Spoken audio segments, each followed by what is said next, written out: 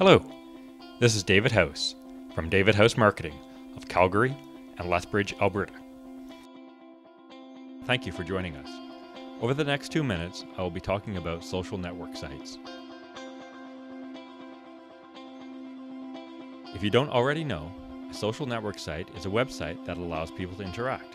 Basically, that's all they are. Social network sites come in several forms, but the most popular types are pure social sites such as Facebook, video sharing sites such as YouTube, information or storytelling posting sites, aka blogs, such as WordPress, bookmarking sites like Delicious, web page tagging sites such as StumbleUpon, picture sharing sites such as Flickr, and many, many more.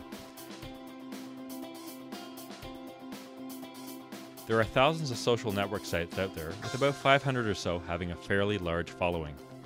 As a Lethbridge business owner, you may be hearing a lot about the future of advertising taking place over the internet.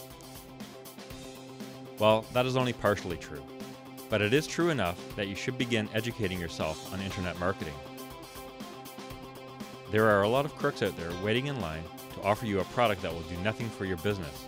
The more you know, the less money you will end up wasting. This video will close with a list of many of those 500 social networks. Social networks should be a part of your marketing strategy. Call either of the numbers on the screen to learn how internet marketing can help your business. Thanks again for joining us at David Howse Marketing.